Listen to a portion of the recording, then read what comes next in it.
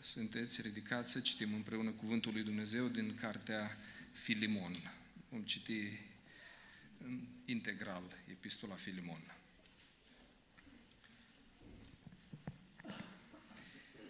Pavel întemnițat al lui Isus Hristos și fratele Timotei către prea iubitul Filimon, tovarășul nostru de lucru, și către sora Apfia și către Arhip, tovarășul nostru de luptă, și către biserica din casa ta. Har și pace de la Dumnezeu Tatăl nostru și de la Domnul Isus Hristos. Mulțumesc totdeauna Dumnezeului meu, ori de câte ori mi-aduc aminte de tine în rugăciunile mele, pentru că am auzit despre credința pe care o ai în Domnul Isus și dragostea față de toți sfinții îl rog ca această părtășie a ta la credință să se arate prin fapte care să dea la iveală tot binele care se face între noi în Hristos. În adevăr, am avut o mare bucurie și mângâiere pentru dragostea ta, fiindcă, frate, inimile sfinților au fost înviorate prin tine. De aceea, măcar că am toată slobozenia în Hristos, să-ți poruncesc ce trebuie să faci, vreau mai degrabă să-ți fac o rugăminte în numele dragostei eu, așa cum sunt, bătrânul Pavel, iar acum întemnițat pentru Hristos Iisus. Te rog pentru copilul meu pe care l-am născut în lanțurile mele, pentru Onisim, care altădată ți-a fost nefolositor, dar acum îți va fi folositor și ție și mie. Ți-l trimit înapoi pe el inima mea Aș fi dorit să-L țin la mine ca să-mi slujească în locul tău când sunt, cât sunt în lanțuri pentru Evanghelie, dar n-am vrut să fac nimic fără învoirea ta, pentru ca binele pe care mi-l faci să nu fie silit, ci de bună voie. Poate că el a fost despărțit de tine pentru o vreme, tocmai ca să-l ai pentru veșnicie, dar nu ca pe un rob, ci mult mai presus decât pe un rob, ca pe un frate prea iubit mai ales de mine și cu atât mai mult de tine, fie în chip firesc, fie în Domnul. Dacă mă socotești dar ca prieten al tău, primește-l ca pe mine însumi. Și dacă ți-a adus vreo vătămare sau ți este dator cu ceva, pune aceasta în socoteala mea. Eu, Pavel, voi plăti. Scriu cu mâna mea ca să nu zic că tu însuți te datorezi mie. Da, frate, fă binele acesta în Domnul și înviorează inima în Hristos. Ți-am scris bizuit pe ascultarea ta și știu că vei face chiar mai mult decât îți zic. Totodată pregătește-mi un loc de găzduire, căci trag nădejde să vă fiu dăruit datorită rugăciunilor voastre. Epafra, tovarășul meu de temniță în Hristos, îți trimite sănătate. Tot așa și Marcu, Aristarh, Dima, Luca, tovarășii mei de lucru. Harul Domnului nostru Isus Hristos să fie cu Duhul vostru. Amin. Mă invit să luați loc. Da, mă bucur să fiu cu dumneavoastră și să am privilegiu de a împărtăși Cuvântul lui Dumnezeu în dimineața aceasta. Așa cum spunea și Andu, ieri am avut un timp foarte binecuvântat și așa, revigorant pentru credința mea și cred că și pentru altora, celorlalți care au participat. Uh, Dumnezeu face lucruri frumoase între voi și aveți în mijlocul vostru mulți oameni cu, cu inimă pentru Domnul, care sunt o binecuvântare pentru biserică și pentru împărăție. Um,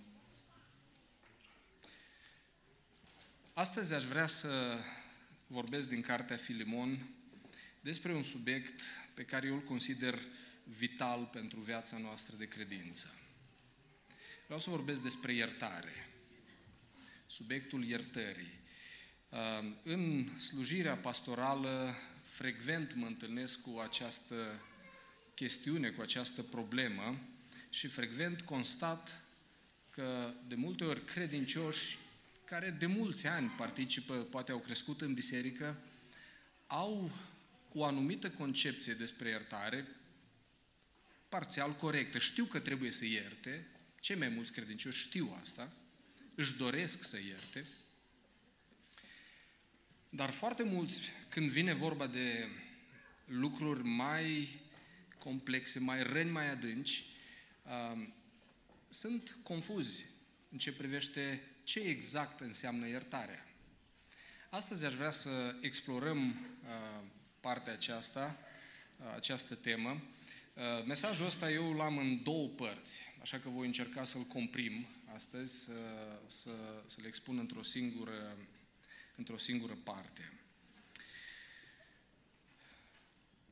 Primul lucru pe care aș vrea să-l menționez legat de iertare este că iertarea creștină se ancorează în credința în Hristos. Pavel îi amintește lui Filimon, pentru că am auzit despre credința pe care ai în Domnul Isus și dragostea față de toți sfinții, versetul 5 și apoi versetul 20, o altă mențiune, da, frate, fă binele acesta în Domnul și înviorează inima în Hristos. De dat, în 20 este mai specific. Reabilitarea lui Onisim avea să fie un bine în Domnul. Puțin despre contextul cărții. Pavel este întemnițat, cel mai probabil în Roma, unde îl întâlnește pe Onisim. Onisim fiind un sclav, fugar, din casa lui Filimon. Filimon fiind un om bogat, un om înstărit din biserica din Colose. Probabil biserica se întâlnea în casa lui. În suveranitatea lui Dumnezeu, așa cum povestea fratele Ionuț, parcă, nu?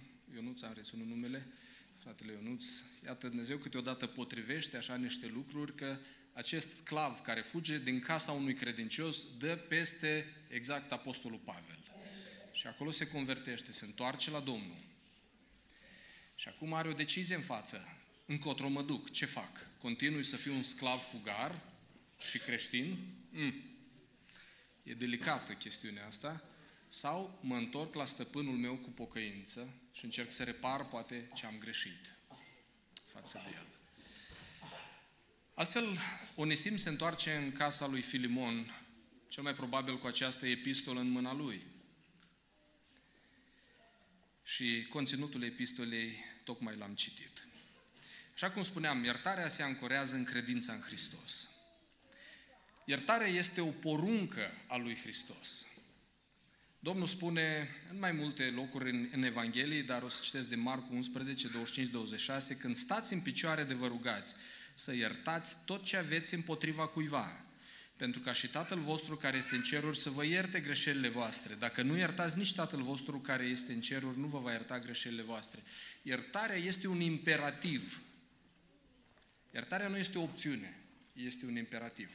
Domnul spune, când vii la mine să te închini, vii la biserică, vii la slujire, stai în cămăruța ta să te rogi, ai grijă să nu lași în inima ta neiertare. Mă interesează lucrurile din inima ta. Mă interesează aspectul acesta al iertării. Desigur, putem găsi motivații legate de sănătatea psihologică cu privire la iertare. Da? Și psihologia spune că fără iertare nu se ajunge la vindecare. Oamenii care trec prin traume majore în viața lor nu se vor putea vindeca din acele traume. Deci nu doar oamenii, nu doar credincioșii știu lucrul ăsta sau vorbesc lucrul ăsta, ci și psihologia seculară spune asta. Nu te vindeci dacă nu ierți. Dar motivația cea mai înaltă pentru noi este porunca lui Hristos. Iertarea este în centrul Evangheliei. Pentru că Dumnezeu ne-a iertat, pentru că Hristos a plătit totul pentru noi, pentru că suntem fii și fiice a lui Dumnezeu și așa am ajuns prin iertarea pe care am primit-o. Actul răscumpărător, în fond, este un act al iertării. Neprihănirea care am primit-o, am primit-o ca urmare a iertării pe care ne-a dat-o Dumnezeu. Prin jertfa lui Hristos. Despre asta e Evanghelia, despre asta e crucea. Astfel, credința în Evanghelie este fundamentul iertării. Iar iertarea este un răspuns de recunoștință față de iertarea primită. Când eu îmi iert aproapele, nu iert doar pentru că e sănătos să iert. Iert pentru că am crezut în Evanghelie, iert pentru că eu am fost iertat. Coloseni 3 cu 12 și 13, astfel, dar ca niște aleși ai lui Dumnezeu Sfânt și prea iubiți, îmbrăcați-vă cu o inimă plină de îndurare, cu bunătate, cu smerenie, cu blândețe, cu îndelungă răbdare, îngăduiți-vă unii pe alții și dacă unul are pricină să se plângă de altul, iertați-vă unul pe altul cum? Cum v-a iertat Hristos. Uitați-vă că baza pe care construiește Pavel iertarea din comunitate este iertarea lui Hristos. Este un fundament foarte solid. În momentul în care eu decid să nu iert, eu practic pășesc în afara acestui fundament. Eu nu mai iau în calcul iertarea lui Hristos. Eu minimalizez importanța iertării lui Hristos.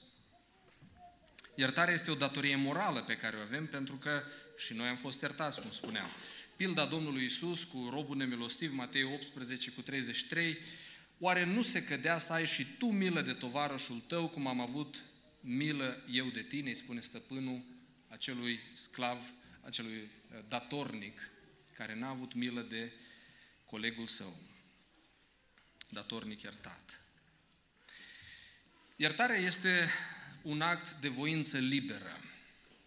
Asta nu înseamnă că este opțional, atenție. Da, noi putem să decidem să nu iertăm, categoric. Dumnezeu ne lasă la libertatea noastră, dar nu înseamnă că El nu, nu, asta nu anulează porunca Lui de ierta.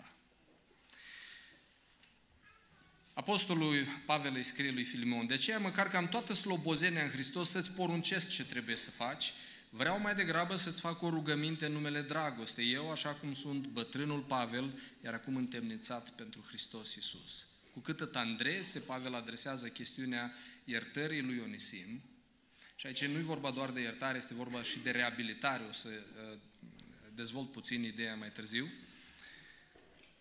Versetul 14. N-am vrut să fac nimic fără învoirea ta, pentru ca binele pe care mi-l faci să nu fie silit, ci de bunăvoie. E foarte important ca iertarea să fie din convingere, nu din constrângere.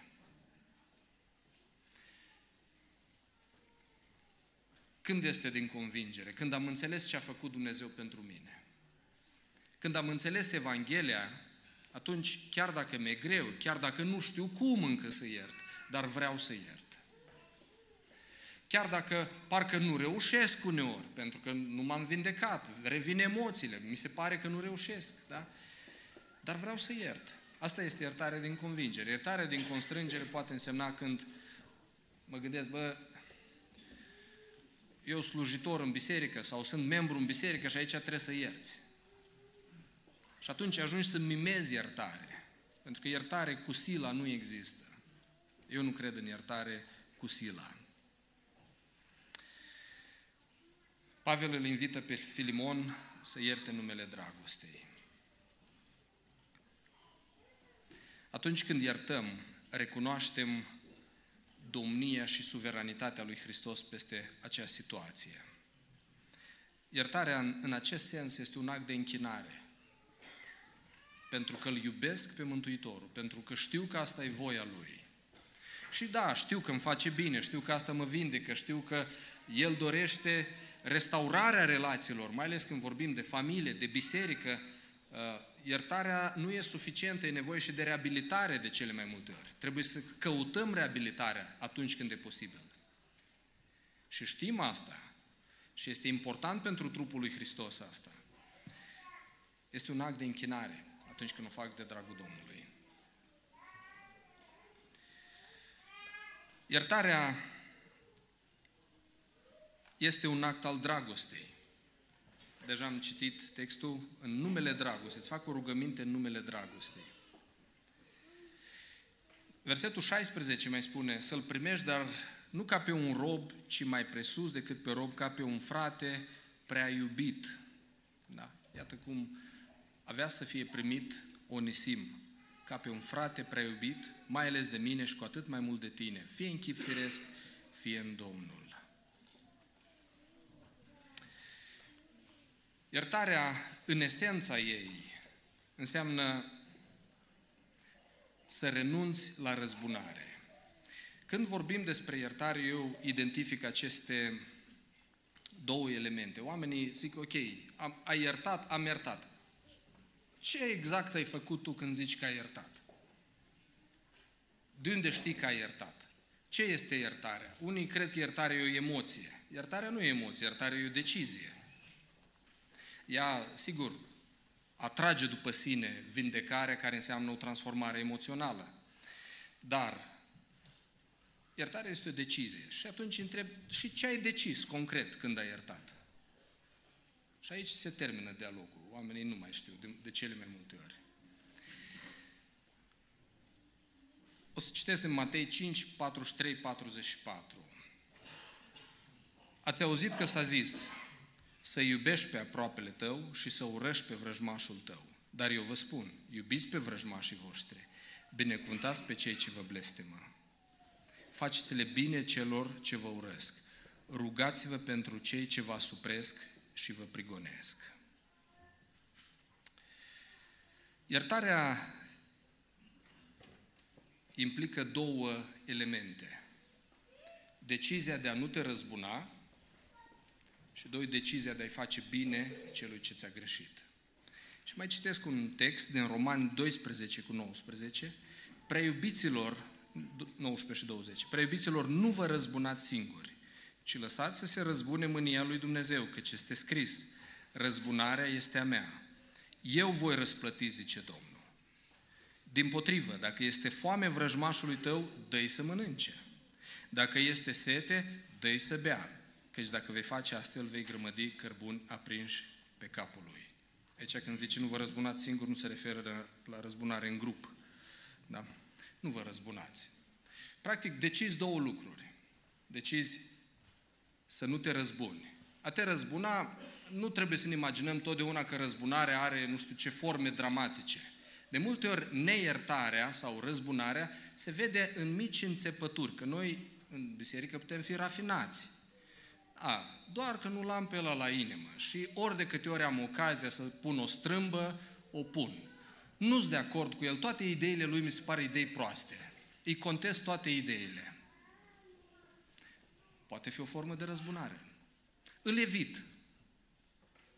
Nu dau ochii cu el. Nu-l salut. Mici înțepături. Asta pot fi semne ale unei amărăciuni pe care o poți purta ani de zile. Și o poți îmbrăca și cu un zâmbet uh, baptist, și cu versete biblice și cu ce vrei tu, dar este la fel de putredă ca orice alt păcat din viața ta. Pentru că este neiertare. Deci, decizia de a nu te răzbuna, sau altfel spus, decizia de a nu-l pedepsi pe celălalt pentru ceea ce a făcut. Că de fapt asta e tentația noastră. Vreau să simtă durere un pic.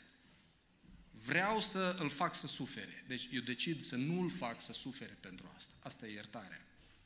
Și decid să-i fac bine ori de câte ori are nevoie sau pot să-i fac bine. Îi fac bine. Aici ne se spune despre vrăjmaș. Da? Chiar vrăjmașului, dacă este sete, dă să bea. Da. Da, am primit apă, deci nu, nicio aluzie, doar să ne merite. Um, sigur, pun aici o mică notă de subsol care e importantă în anumite situații. Sunt contexte când cel ce ți-a greșit poate fi un abuzator, un om periculos. Probabil nu în biserică, dar în alte contexte sunt victime ale violurilor sau victime ale abuzurilor față de un astfel de om, nu te duci acum să, să-l slujești. Un astfel de om trebuie să-l denunți la poliție și să iei distanță de siguranță. Chiar dacă ierți, iertarea nu înseamnă să nu iei măsuri pentru a opri un rău în anumite situații, ci înseamnă să nu-l urăști tu pe omul ăla. Asta este o altă chestiune. Deci, închid paranteza, asta este pentru un mic procent din cazuri, dar în cele mai multe, când vorbim de interacțiunile noastre comune, obișnuite, se aplică textul ăsta uh, exact așa cum este. Iertarea deschide drumul spre vindecare și reconciliere și reabilitare. Vindecare, reconciliere și reabilitare. Și o să diferențiez puțin termenii ăștia, dar înainte un citat de Pablo Martinez, un psihiatru creștin spaniol, care spune așa, Iertarea nu elimină amintirile. Câteodată noi credem că a ierta înseamnă a uita ce ne s-a întâmplat. Nimic mai fals. A uita o traumă, în primul rând, este imposibil, dar dacă cumva ai uita-o, și există situații uh, când creierul șterge efectiv anumite părți, pentru că sunt prea dureroase. Sau le îngroapă, mai bine zis. El e ca mijloc de protecție. Dar, în general, nu vrem să uităm. Nici nu trebuie să uităm, pentru că trebuie să învățăm din lucrul ăla ceva. Iertarea nu înseamnă să uit ce mi s-a întâmplat. Continuă Pablo Martinez și spune, ce face iertarea? Scoate o travă din amintiri. Asta face. Țin minte ce a fost, dar nu mă mai otrăvește gândul ăla. Nu mai simt în el ură, nu mai simt în el mânie, nu mai simt în el dorință de răzbunare. Scoate durerea sau scoate din amintirea dureroasă, scoate acea otravă, scoate resentimentul, mânia, amărăciunea. Asta face iertarea. Și acum vreau să diferențiez patru termeni pe care câteodată îi putem confunda, dar cred că ne ajută ca să înțelegem mai clar ce este și ce nu este iertarea. În primul rând, iertarea, da? decizia de a ierta. Este o decizie unilaterală. Cum am spus, decizia de a nu te răzbuna, decizia de a face bine celui ce ți-a greșit. Și acum spune Romani, nu vă răzbunați, ci dacă este sete, dă să bea. Dacă este foame, dă să mănânce. Asta este decizia de a ierta. Această decizie este unilaterală, adică nu, nu depinde de celălalt. Celălalt s-ar putea să fie în continuare un om care nu îți dorește binele sau se poartă urât cu tine. Dar tu poți să ierți. Sau se poate întâmpla că cel ce ți-a greșit a și murit de mulți ani. Și tu încă ai amărăciunea, încă te doare. Sunt oameni care nu și-au iertat părinții, care de, mulți, de multe morți. Dar ei încă rostogolesc mânia asupra părinților roșu, o varsă pe propriilor copii și pe celelalte relații din viața lor. Și de multe ori nici nu știu că fac asta. de e foarte importantă iertarea. Iertarea nu înseamnă totdeauna reconciliere. Este de dorit reconcilierea, atunci când este posibil o să explic ce înseamnă reconcilierea, dar iertare nu e egal neapărat reconciliere nu implică neapărat reabilitare. Din nou, este de dorit, dar este o altă chestiune, o să o explic imediat. A ierta nu înseamnă neapărat că te-ai și vindecat. Unii creștini spun, păi, eu am iertat, dar în continuare mă doare. Păi, e normal să te doară. E normal să te doară. Că dacă uh, te lovește cineva cu, cu băta și apoi își cere iertare și tu îl ierți, ți-a trecut durerea, normal că o să te doară o vreme. Îți trebuie timp să te vindeci. Sufletul tău are și el durerile lui și trebuie timp uneori să se vindece. Dar fără iertare nu poate începe vindecarea. În sensul acesta, iertarea este o decizie ce poate fi luată de multe ori imediat după ce s-a întâmplat uh, rana, durerea, Câteodată însă ne trebuie un pic de timp să ne adunăm, suntem prea în vârtejul și amețeala durerii, dar imediat ce putem trebuie să luăm această decizie.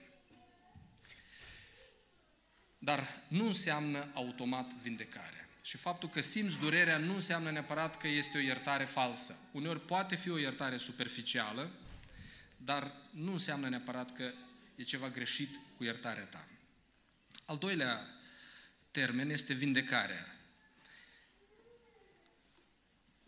Vindecarea aceasta se referă la vindecarea emoțională, cea pe care noi o dorim și tânjim după ea. Adică aș vrea să nu mă mai doară ceea ce mi s-a întâmplat. Aș vrea să nu mă mai tulbure atât de mult evenimentul ăla. Asta implică procesarea evenimentelor care s-au întâmplat, calmarea durerii emoționale, tranziția de la furie, mânie, tristețe sau spre uneori o tristețe, dar o tristețe normală care nu-ți mai perturbă viața, activitatea. Vindecarea, sigur, poate fi ajutată de pocăința sau reparația făcută de cel ce a greșit, dar nu depinde de asta. Vindecarea ține dacă tu ai iertat și ține de ce faci tu cu durerea aceea. Vindecarea nu depinde de reconstruirea, adică nu implică neapărat reconstruirea încrederii în cel ce ți-a greșit. Câteodată reconstruirea încrederii nu este posibilă. Și acum trec la al treilea concept, reconcilierea. Reconcilierea deja este un act bilateral, implică ambele părți. Nu te poți reconcilia singur cu cineva care nu vrea să se reconcilieze cu tine. Reconciliere sau împăcare, am putea să spunem. Care înseamnă încetarea ostilităților. Un anunț, băi, ne-am împăcat, suntem în termeni bune acum, da? S-ar putea relația să nu mai fie ce a fost. Poate rămâne uneori o anumită distanță. Dar înseamnă reluarea relației într-o formă sau alta. Cel puțin știm că nu ne suntem ostili, știm amândoi că nu trebuie să ne temem unul de altul. Încrederea încă nu este reconstruită de plin în cazul reconcilierii, de multe ori. Uitați-vă un exemplu din Biblie în care eu înclin să cred că a fost vorba de o reconciliere, dar nu de o reabilitare în acea etapă, iar mai târziu a avut loc și reabilitarea. E vorba de Pavel și Ioan Marcu. Știți că, în, cred că în prima misiune, misiune, călătorie misionară a lui Pavel, a mers cu Barnaba și a fost, au fost însoțiți și de Ioan Marcu. Dar la un moment dat Ioan Marcu, nu știu, a obosit, s-a descurajat, i-a fost prea greu, că misiunile erau grele, foarte grele erau. Și n-a mai mers cu ei de la un punct încolo. Ei, lucrul ăsta l-a dezamăgit, l-a întristat pe Pavel Astfel că la următoarea călătorie misionară, Pavel nu mai este de acord să-l ia cu ei pe Ioan Marcu. Nu ni se spune că Pavel era certat cu Ioan Marcu, dar zice, nu ne poate însoți. Și aici a fost un dezacord cu Barnaba. Și astfel s-au făcut două echipe. Barnaba a mers mai departe cu Ioan Marcu și Pavel nu mai știu, cu Apollo sau cu cine a mers, nu mai sunt sigur. Cu Sila, mulțumesc cu Sila. Deci eu cred că aici a fost o reconciliere, dar n-a fost reabilitare încă. Dar povestea nu se termină aici. Pentru că mai târziu Pavel scrie într-una din epistolele sale și trimite-mi-l și pe Marcu, că mi este de folos. Și chiar în epistola aceasta, dacă vă uitați la versetul 24, care este scrisă spre finalul vieții lui Pavel, bătrânul Pavel întemnițat, Marcu transmite salutări în versetul 24. Eu cred că a urmat și o reabilitare. Ce înseamnă reabilitare? Este, este al patrulea termen. Reabilitarea implică iertare și implică reconciliere. Înseamnă restaurarea calității anterioare a relației. Sau chiar mai mult decât a fost. Asta este reabilitarea are loc reconstruirea de plină a încrederii și poate chiar creșterea încrederii. Înseamnă repunerea celuilalt în poziția avută anterior sau chiar o poziție mai bună decât a avut. De multe ori, reabilitarea sau procesarea corectă a unei tensiuni, a unei, unui conflict, chiar în relația de cuplu, dacă este traversată corect, cu iertare, cu vindecare, cu reconciliere, poate duce la o relație mai solidă decât a fost înainte. Oamenii pot să aibă încredere chiar mai mare decât au avut. Sigur, e un drum dureros. Nu, nu recomand asta ca și cale de a întări relația. Greșiți celuilalt, ca apoi să vă reabilitați. Nici vorbă. Dar este un har pe care îl dă Dumnezeu chiar atunci când greșim, dacă procesăm corect, putem avea relații puternice.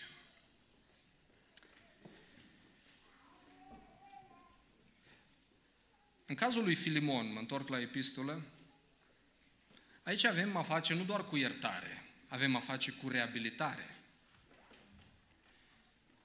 Te rog pentru copilul meu pe care l-am născut în lanțurile mele pentru Onisim, care altădată ți-a fost nefolositor, iar acum ne va fi folositor și ție și mie. Versetul 16 spune, dar primește-l nu ca pe un rob, că el înainte era un rob. Deci doar reconciliere probabil ar fi însemnat l-ai primit ca un rob. Și atât. Bă, dacă ai administrat uh, bani, acum ai să stai numai la oi și la găini, da? Nu mai aici căuta în casa mea, că ai plecat cu punga data trecută, da? Asta poate ar fi fost reconciliere. Dar aici este reabilitare. Ca pe un frate prea iubit să-l primești. Un alt exemplu de reabilitare este Petru. Petru care știm că s-a lepădat de Domnul Isus de trei ore în noaptea trădării, în acea noapte atât de grea pentru toți apostolii, pentru Mântuitorul. Și Petru, chiar dacă Domnul i-a prevestit lucrul ăsta, tot a comis-o. Și n-a comis-o odată, a comis-o de trei ori. Nu? Cât de rușinat te poți simți cu tine însus. Petru plânge cu amar. Plânge cu amar. Și arată, arată că înțelege cât de mult a greșit. Înțelege cât de slab este. O lecție pentru noi toți acolo. După înviere, Ioan 21, după ce au prânzit, de la versetul 15, Iisus i-a zis lui Simon Petru, Simone, fiul lui Iona, mă iubești tu mai mult decât aceștia? Da, Doamne, i-a răspuns Petru, știi că te iubesc. Iisus i-a zis, paște melușei mei. I-a zis a doua oară, Simone, fiul lui Iona, mă iubești? Da, Doamne, i-a răspuns Petru, știi că te iubesc. Iisus i-a răspuns, paște oițele mele. A treia oară i-a zis Iisus, Simone, fiul lui Iona, mă iubești? Petru s-a întristat că zisese a treia oară mă iubești și a răspuns, Doamne, Tu toate le știi. Știi că te iubesc. Iisus i-a zis, paște oile mele. Textul ăsta merită o predică întreagă pe el. Are multe subtilități în el, multe nuanțe, nu subtilități, multe nuanțe. Dar vreau să observați ce face Domnul Iisus cu Petru. Face două lucruri. Odată Domnul Iisus nu trece cu vederea ce s-a întâmplat. Pune această întrebare de trei ori și o pune în două feluri diferite. În greacă este o variație de termene acolo. Este prima dată Domnul Iisus întreabă cu agapao, adică mă iubești cu dragostea agape, acea dragoste uh, uh, necondiționată, acea dragoste divină, acea dragoste perfectă.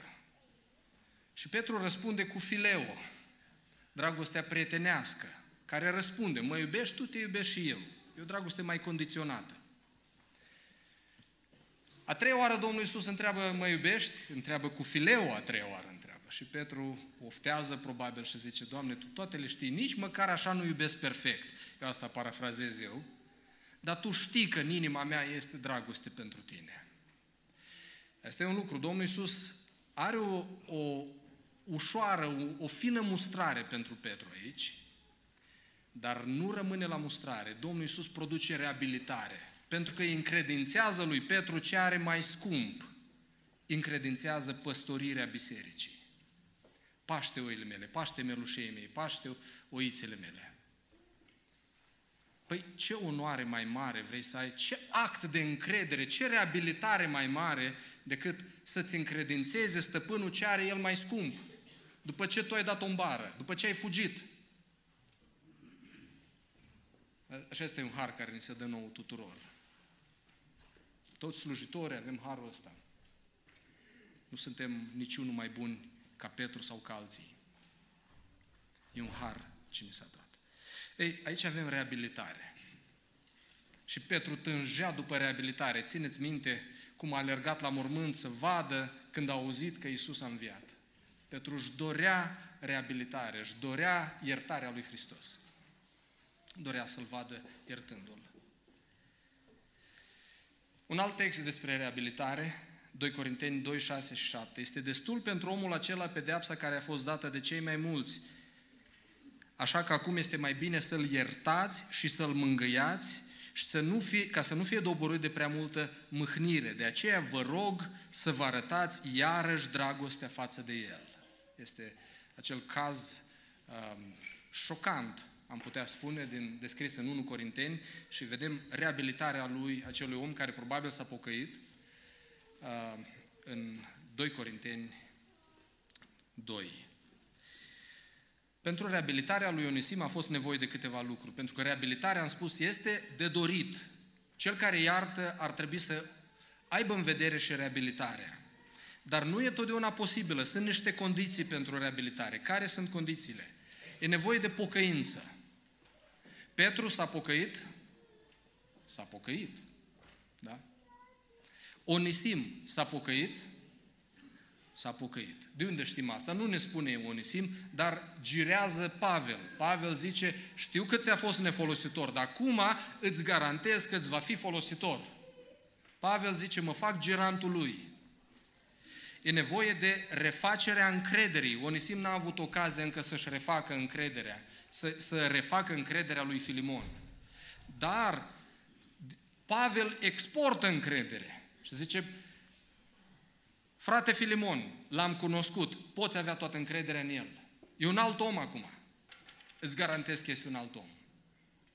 De altfel, așa a fost primit și Pavel în rândul, în mijlocul ucenicilor. Cine a făcut asta pentru Pavel? Barnaba a făcut, da? Că ăștia nu-l credeau. Nu-l credeau. Poate l-au iertat pe Pavel, dar nu-l reabilitau. Nu-l primeau între ei, că le era frică de el. A trebuit altul să vină și să spună girez eu pentru el, garantez eu pentru el, vă spun că puteți avea încredere. Exact asta face Pavel cu Onisim acum. Și uneori este nevoie de reparații. Reparațiile, atunci când există, când sunt posibile, uneori nu sunt posibile reparațiile. Dar atunci când sunt posibile reparațiile, cel care într-adevăr s-a căit, cel care într-adevăr s-a pocăit de rău pe care l-a făcut, va dori să repare. Pavel se oferă să plătească în locul lui Ionisim. Pavel zice, scriu cu mâna mea, dacă e ceva, dacă îți datorează, pune în contul meu, trece-mă pe caiet. Da? Și voi plăti eu. Iertarea în sensul acesta este costisitoare. Înseamnă achitarea celui ce ți-a greșit, ștergerea datoriei. Înseamnă că cel păgubit să fie gata să suporte paguba. Și am amintit, în cazul ăsta, Pavel e gata să plătească pentru Onisim, pentru că Onisim nu putea. Dar alteori, dacă poți repara, repară. Dacă știi că ai greșit sau um, dacă, ca, ca să restaureze încrederea, e nevoie de reparație. Uh, uneori, și am observat asta în cupluri. Se întâmplă când un partener greșește foarte mult față de celălalt. Și are pretenția ca a doua zi relația să fie exact cum a fost înainte. Poate a, și-a înșelat partenerul. Și apoi zice, păi dar tu nu mă ierți, de ce tu nu ești exact la fel ca mai înainte? Stai puțin. Tu ai distrus o încredere construită în ani de zile. Faptul că te-a iertat, faptul că zice, ok, continuăm relația, faptul că zice, ok, voi lucra cu mine ca să mă vinde, ca să te învăț, să te accept, să te iubesc din poziția în care ești, în poziția în care ne-ai adus ca relație de cuplu. Este un efort, este un act al dragostei. Nu poți fi așa. Va trebui o perioadă, cel care a greșit, să facă efort să dovedească încredere. Încrederea se pierde ușor, dar se reabilitează foarte greu. De aceea este cel mai scump lucru, mă adresez tuturor căsătoriților, cel mai scump lucru pe care îl avem în relația de cuplu, încrederea. Păstrați-o este sacră. Costul emoțional poate fi foarte mare atunci când ierți. Când ierți, îți asumi să suporți acest cost. Atunci când acel stăpân a iertat robului nemilostiv acea sumă exorbitantă, cineva a calculat-o la nu știu câte milioane, da? Stăpânul a suferit paguba. Stăpânul și-a asumat că nu va mai avea acei bani niciodată. Că i-a pierdut. Când ai de iertat, îți asumi lucrul ăsta și asta va durea și e normal să doară. E normal să doară. A ierta înseamnă să alegi să te încrezi în suveranitatea și dreptatea lui Dumnezeu și nu în propria-ți răzbunare. L avem ca exemplu aici pe Domnul Isus, exemplu suprem, 1 Petru 2 cu 23, când era batjocorit, nu răspundea cu batjocuri, când era chinuit, nu amenința, ci se supunea, îi se supunea dreptului judecător, cu J mare, se supunea lui Dumnezeu. Înseamnă să alegi să trăiești mai departe cu paguba, cu pierderea, cu rana, cu trauma făcută, alegând să te încrezi în Dumnezeu pentru prezentul și viitorul tău. Înseamnă să dai drumul celuilalt din cârligul datoriei tale, celui ce ți-a făcut rău. Să decizi, cum spuneam, să nu-l pedepsești, să nu te răzbuni, ci să te bazezi pe Dumnezeu că îți va purta de grijă mai departe. Asta înseamnă iertarea. Vreau să amintesc pe scurt câteva din beneficiile iertării. Iertarea deschide ușa vindecării. Cum spuneam, neiertarea va bloca vindecarea noastră. Ne blochează în episodul traumatic. Sunt oameni care toată viața lor, după ce au trăit o, o rană grea, ajung să se învârtă doar în jurul acelei răni. Totul e despre asta, totul îi duci cu gândul asta, totul și nu îi duce doar cu un gând liniștit la asta, ci îi duce cu durere, cu mânie, cu amărăciune. Unii nu-și mai revin niciodată, pentru că nu iartă. Iertarea contribuie decisiv la procesarea traumei. Este punctul din care începe vindecarea. Sigur, iertarea poate fi superficială, nu e, nu e simplu câteodată și asta e o altă temă care, cine știe, poate data viitoare, dacă va fi cu voia Domnului, poate explorăm um, cum anume se întâmplă iertarea în cazurile dificile, dar fără, fără ea, cum spuneam, nu putem procesa trauma. Uitați-vă un exemplu foarte interesant din Iov, 40, 42 cu 10. Știți că pe parcursul a multor capitole, prietenii lui Iov îl rănesc într-un mod aproape crud. Chiar, chiar cu, cu, cu un fel de răutate acolo. Ne miră cum, cum pot să rănească atât de mult. Un om care deja suferă și continuă să-l acuze și să-l mustre. La final, Dumnezeu îi dă dreptate lui Iov. Dar înseamnă că Iov e vindecat? Poate că încă nu este vindecat. Poate că încă îl doare ce se întâmplă. Versetul 10 spune, Domnul l-a adus pe Iov iarăși în starea lui de la început, după ce s-a rugat Iov pentru prietenii săi. Și Domnul i-a dat înapoi îndoit tot ce avusese. Foarte interesant ce face Dumnezeu. Dumnezeu îi smerește pe prietenii lui și îi spun, nu vă primesc decât dacă se roagă Iov pentru voi. Acum ăștia care au fost mândri tot și au fost acuzatorii pe zeci de capitole, dintr-o dată trebuie să zică, frate Iov, te rog, spune o rugăciune pentru noi că suntem, suntem încurcați. Avem nevoie de serviciile tale, frate Iov. Câtă smerenie. Ei aveau nevoie de smerenie. Iov avea nevoie să ierte. Și Iov ce trebuie să facă? Iov trebuie să-i slujească pe cei ce l-au abuzat. Trebuie să facă bine vrăjmașului. Și abia după ce face bine vrăjmașului și se roagă pentru ei, zice că Dumnezeu îl binecuvântează dublu decât a avut. Vindecarea și binecuvântarea vine în urma iertării. Conduce la maturitate emoțională și spirituală. Neiertarea ne scurcircuitează resursele. Episodul dureros ne consumă energia noastră mentală, psihică, emoțională. Tu cânți, dar gândul tău e tot la ea.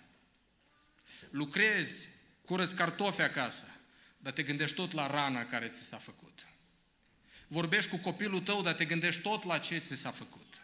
Îți consumă într-una energie și te distrage de la creșterea spirituală, te secătuiește de putere. De aia nu există maturitate spirituală cu neiertare. Ai nevoie să ierți, de aceea e urgent. Mai mult decât atât, poate câștiga sufletele altora. Spune Pavel lui Filimon, poate că el a fost despărțit de tine pentru o vreme tocmai ca să-l ai pentru veșnicie. Deci este, este o ocazie să-l câștigi, să-l ai. Domnul a întors, iartă-l și-l vei avea. Primește-l. Și ultimul lucru, iertarea totdeauna are o dimensiune comunitară. Pavel zice, da frate, fă binele acesta în Domnul și înviorează inima în Hristos. Iertarea nu era doar o problemă între Onisim și Filimon. Iată, îl implica și pe Pavel. Pavel zice, dacă tu ierți, inima mea e înviorată.